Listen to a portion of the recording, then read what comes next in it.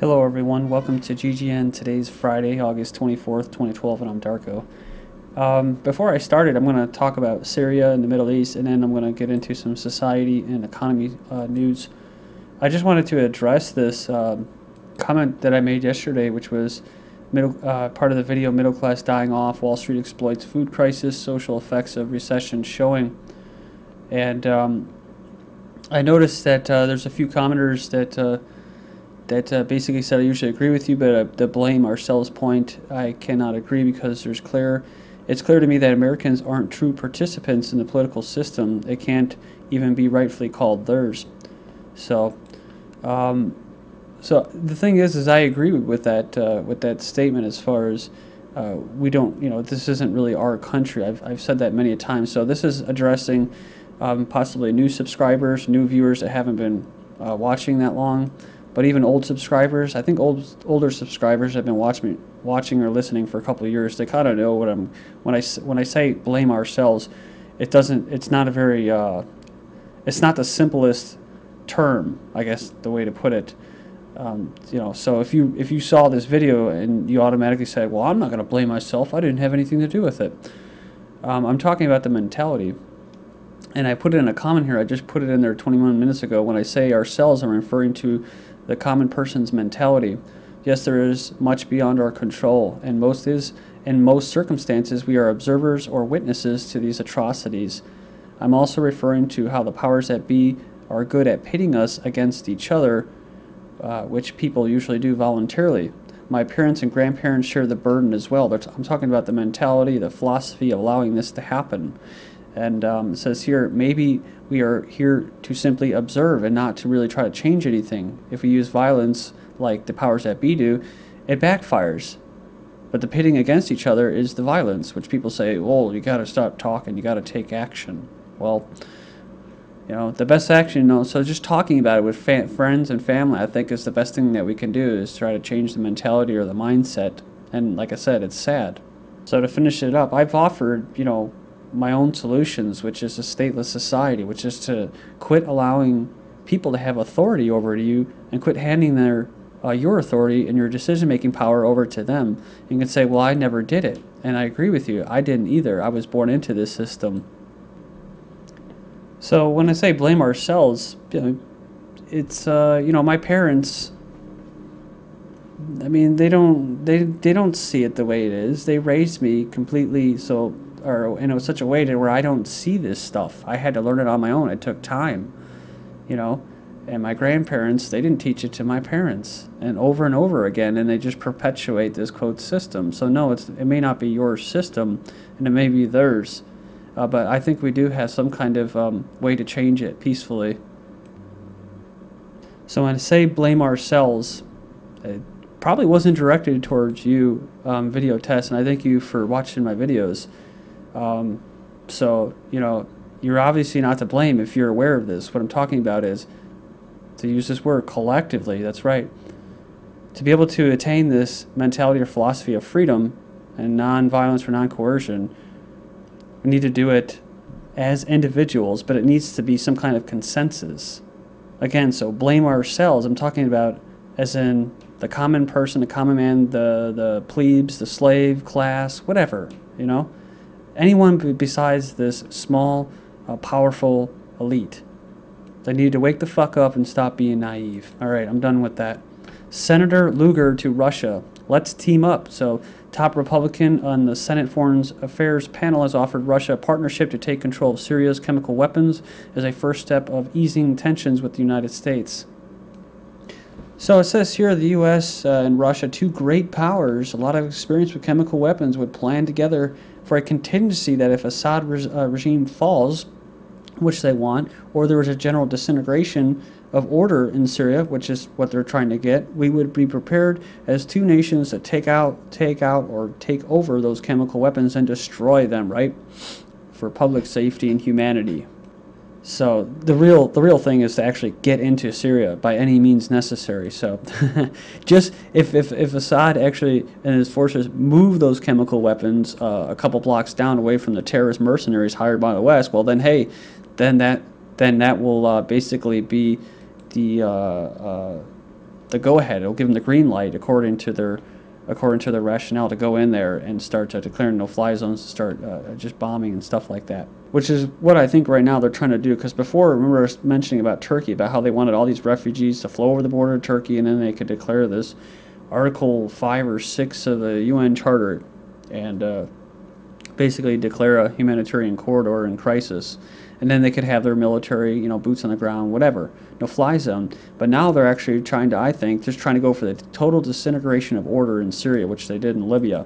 So, and we have next Britain and France join the U.S. in warning Syria about military actions. And now Britain and France are fear mongering about the possibility of military intervention in Syria joining President Obama in warning that he would not tolerate the transport or deployment of Syria's chemical weapons stockpile. And it says here France's defense minister saying that a partial no-fly zone should be considered. So they were saying one pushing that for that in Libya. It says here U.S. has plans to uh, secure Syria chemical arms, and says here contingency for special forces. So that's how they'll do it. Uh, talk brews among NATO allies of no-fly zone. So it says here to be an important show of support for Syrian opposition forces, including the Free Syrian Army terrorists. French uh, also said here in an interview um, said that no fly zone would amount to a declaration of war. A no fly zone over all of Syria said it can only be set up if there's an international coalition capable of doing it. So they don't have that international coalition because right now they have a, basically their own mercenary army inside, and they're calling it a civil war, which is absurd, right? They're trying to get a civil war, sectarian war, but as of right now, uh, they have their own private mercenary army inside Free Syrian Army's headquarters in Turkey. So even though Turkey continues to deny reports that it has been setting up bases for the Syrian opposition, for example, in Adana, it's no longer a secret that it is providing military support to the Syrian opposition. Concerns about Al Qaeda in Syria underscores questions about the rebels. So this is something. Another. Um, these are the two points that I want to make about Syria. Is that one is the chemical weapons and no-fly zone. Um, little uh, point to make as far as uh, kind of a, a, reason for them going in. And then Al Qaeda, ooh, there's concerns about Al Qaeda in Syria. Hmm, they kind of did that in Libya too, right? For the whole time, you had alternative media basically confirming all these reports saying that, you know, Al- that's Al Qaeda. The West is funding Al Qaeda from day one. And now, after months of all the bloodshed and using humans as, you know, basically as political cannon fodder by the West, oh, now they're going to say, oh, we have concerns about Al Qaeda in Syria. Not that we're arming them, that they've always been there, but they might Al Qaeda might be in there, so we might want to go in there and try to, uh, you know, stop this, right? So it's complete absurdity, really. So it's here, globalists, and see, this is what I'm talking about. Are you know, uh, as far as like blame ourselves to the people that don't understand that and they haven't paid attention, and will turn on Fox or CNN and say, "Yeah, I guess we better go into Syria if Al Qaeda's in there." You know, that's what I'm saying needs to wake the fuck up. Says here, globalist RAG gives two cheers for terrorism foreign policy. RAG published a recent article literally titled Two Cheers for the Syrian Islamists in it, the general editor of the Neocon Middle East Forum, Gary Gambill, concedes that the Syrian government would not be in the trouble it's in today were it not for the Islamists, revealing what the West and its media houses have, have attempted but failed at obfuscating that the violence in Syria is the work of sectarian extremists, not pro democracy activists. So, like the caption says, you have to see it to believe it. That's right, foreign policy. Two cheers for Syrian Islamists. So this is insane. It says here that this is what they write. Whatever misfortunes Sunni Islamists may visit upon the Syrian people, i.e., remember what that uh, nun was saying, that Catholic nun, about the atrocities, cutting fingers off and body parts and leaving on the ground for people to see, you know, uh, using journalists, putting them in the crossfires, killing them and stuff like that, using taking prisoners and making suicide bombers of them, right? It says here, any government they will form will be strategically preferable to the Assad regime. Remember what the nun said too. Before they had security, they had food, they had power, they had you know all of that stuff. Not great, she said, but it's better than whatever these people are going to try to instill. And finishing up in this, Gambill divulges the true agenda behind destabilizing Syria, the isolation and undermining of Iran to the east and Hezbollah in Lebanon to the west. It says here, uh, Gambill also mentions the destruction of Syria as a means of realigning Iraq to U.S. interests. So what you have is what? Hezbollah is preparing for war. This is from August 24th. Lebanese newspaper reports last week that the terrorist organization Hezbollah, well, they're not declared a terrorist organization, but yet, but either way, they said that uh, they had the most extensive maneuvers in history in the event of a possible new military conflict with Israel.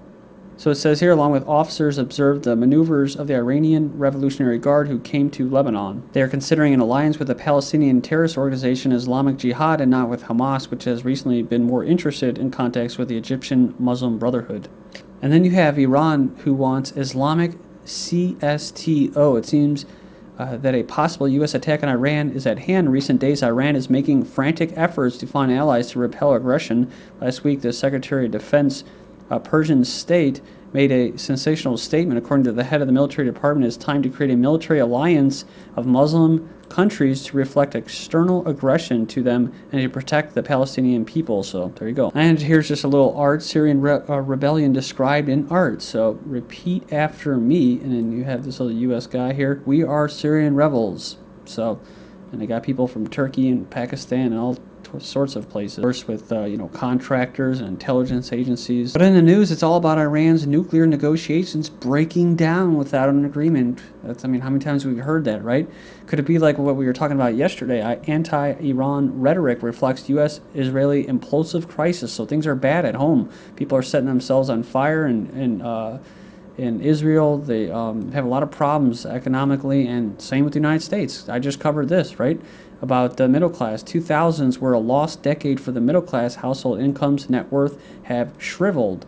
So this ties into what? Daycare now costs more than college. Sending an infant to a daycare center often breaks the bank for parents. And of course, the social engineers knew that um, doing what they were going to do with the economy, you know, especially in the late, say, 60s, 70s, after Vietnam, taking us off the gold standard, inflation, stuff like that, and Federal Reserve policies, that what? That eventually both parents are going to have to go to work. The wife was going to have to leave. And of course, with all the propaganda uh, that was enforced through uh, uh, television, education, universities, um, you know, they left. And now they have to leave uh, their children with the state, which is the free daycare. But if they can't do that, then they put them in these little daycare centers. They're not really free, though, the, the re education camps as far as daycare centers because you do you know the woman that has to go out and work she's going to have to fork over a third of her income to the state to pay for those re-education brainwashing camps. A drought is drying up home wells. Families forced to adapt in a hurry talking about importing water traveling miles to import water. He said it's crazy right now in missouri so yeah, said he's never seen anything like it in over 30 years.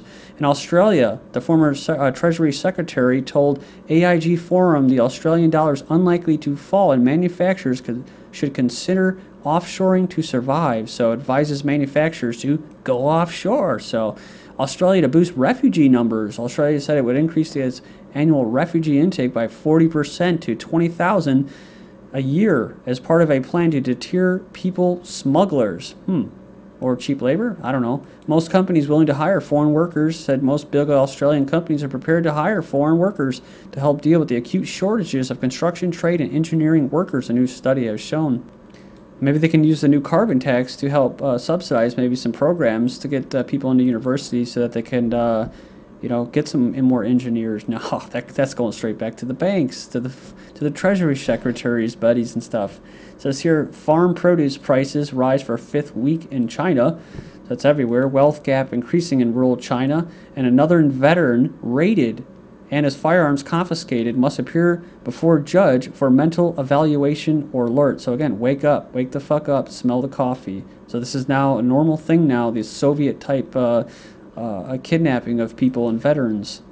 Apparently, this was a letter to Steve Quayle, he says he has a, uh, information about an Army combat veteran and Christian in Ohio who was just raided uh, this evening for the same reasons of Brandon Raub. He said there's no criminal charges, no suspicions of criminal activity charge, and he was not arrested, uh, but all of his firearms were confiscated, and he has been given a notice to appear before a judge. He is a Purple Heart recipient, no criminal background, and no issues with prior VA psychological evaluations. An Iraq vet arrested on terrorism charges after jogging with a training rifle. He's a, he said here is an Army National Guardsman with an Iraqi war veteran who is uh, basically uh, committing a terrorist act and wearing body armor while committing a felony offense, says the police. So please join me in part two, and we'll continue with this. Thank you.